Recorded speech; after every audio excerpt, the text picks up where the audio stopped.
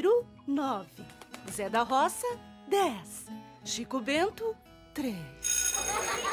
Ai, ai, ai, ai, ai, isso não é justo. Só porque não sei quem inventou o telefone e não decorei a tabuada dos cinco, ficar com aquela nota?